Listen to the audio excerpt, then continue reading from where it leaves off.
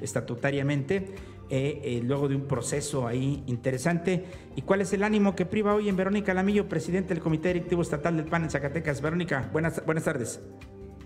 Hola, buenas tardes. ¿Cómo estás, eh, José Juan?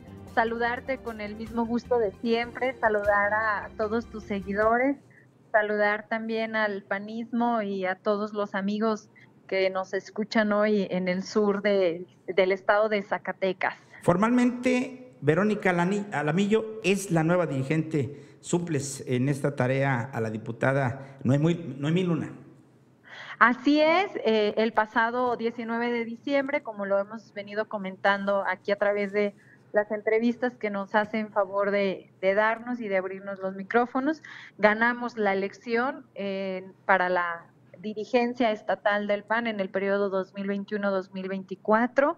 Asumimos el cargo el pasado viernes, tomamos protesta, el Comité Ejecutivo Nacional nos tomó protesta a la nueva dirigencia y pues ya hoy en funciones con grandes retos, tú lo acabas de decir, con grandes oportunidades que Acción Nacional tiene en el estado de Zacatecas, con todas esas oportunidades de crecimiento, de fortalecimiento, de generar unidad a lo interior de, al interior del partido y pues bueno, hacer, eh, llevar a cabo ese plan de trabajo a corto, mediano y largo plazo.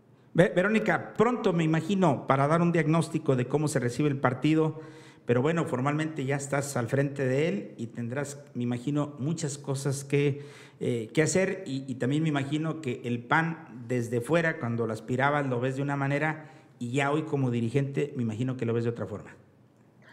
Mira, es eh, igual, la realidad es que Verónica Lamillo pues tiene esencia panista, yo crecí en el, en el juvenil, entonces no es diferente.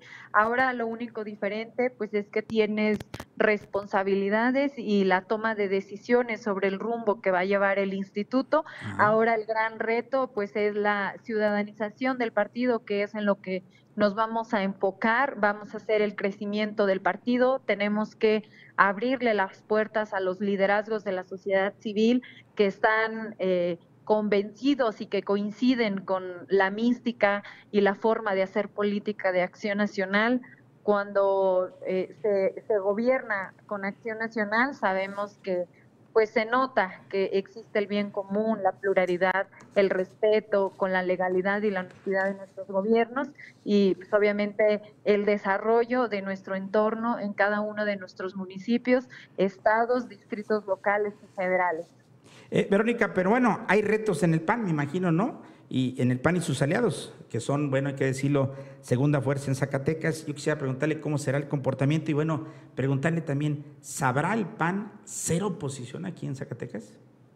Sí, mira, decirte que eh, nos dedicaremos a nosotros crecer como partido en todo el estado de Zacatecas, generar condiciones para tener nuestros candidatos propios y si en algún momento la, la, la dirigencia nacional toma la decisión de ir en coalición con, con los partidos aliados que ya hemos ido, eh, iremos valorando en cada uno de los municipios, por supuesto, con eh, la autorización, con la venia, con, con, la opinión de los comités directivos municipales, de la militancia. Es una responsabilidad que tengo como dirigente de que la militancia decida el rumbo de cada uno de sus municipios, darles esa voz y esa participación para la toma de decisiones. Por supuesto que existen retos. El reto es tener más presidencias municipales, tener más diputados locales, más diputados federales. En el 24 tenemos que ir por el Senado de la República y con miras al 2024. Yo creo que Acción Nacional en este momento, si lo hacemos bien y ejecutamos ese plan de trabajo como debe de ser con cada una de sus etapas, vamos a lograr la gubernatura del Estado en el 2027. Eh, eh, Verónica, dos preguntas más. Hay alcaldías, hay actualmente diputados locales y federales que emanaron del partido Acción Nacional y bueno, el partido no lo suelta, o sea, no, se oye muy mal cuando decimos que les, les marca eh, la línea, pero les marca un comportamiento político. ¿Cuál es la relación, cuál es el contacto, cuál es la comunicación que tiene hoy Verónica Alamillo con, con estas alcaldías, con estos diputados locales y estos diputados federales? Bueno, decirte que primero hay una relación institucional, segundo, con cada uno de los alcaldes y alcaldesas que tenemos en, en el estado, tengo una relación personal. Afortunadamente, con todos y cada uno de ellos eh, he tenido proyectos que hemos, nos hemos acompañado. En el caso particular de los diputados locales, también me han acompañado en cada uno de los procesos.